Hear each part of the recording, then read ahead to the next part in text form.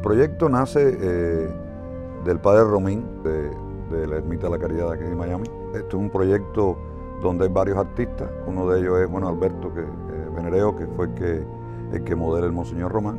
Ellos lo que traían era una idea.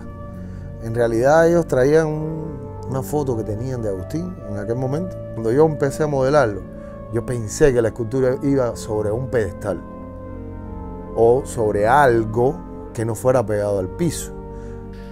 Una vez que, que ya está el modelado aprobado, como te dije ahorita, por, por todos los que tenían que ver con eso, viene ya el proceso del molde. Una, se hace en una silicona eh, que se pisada por capa. La pieza se funde y después que se funde hay que limpiarla, hay que soldarla, empatar pieza por pieza y que todo tiene que venir en un conjunto.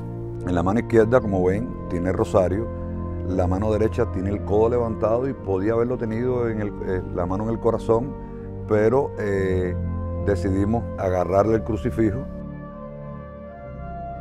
Las gafas, las gafas se hicieron a mano, se agarraron varillas, se empezaron a, a, a darle calor a tipo guerrero. Por aquí vino su médico de cabecera, vino su, hermana, se emocionaron muchísimo, eso fue ya lo que nos dijo, bueno, convencido, está todo bien.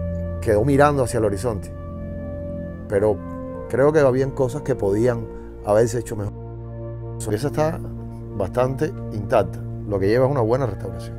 El Monseñor lo merece y nada, y la comunidad de Miami también.